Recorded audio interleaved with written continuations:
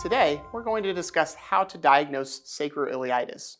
Sacroiliitis is linked to spondyloarthropathies and is a hallmark of ankylosing spondylitis. It may also be seen in the course of other rheumatic and non-rheumatic disorders. In order to diagnose sacroiliitis, you must document the presence of positive maneuver testing, difficulties with activities of daily living, and include documentation of supporting radiology reports. Your plan of care must include medication, physical therapy, exercises, or assistive devices to treat this condition. Positive pain responses to three or more of these tests, in addition to a radiologic report indicating arthritic changes to the SI joint, indicates sacroiliitis.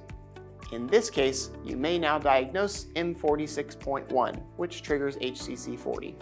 Thank you for watching. I'm Dr. Tharp, and this has been your MRA tip of the day.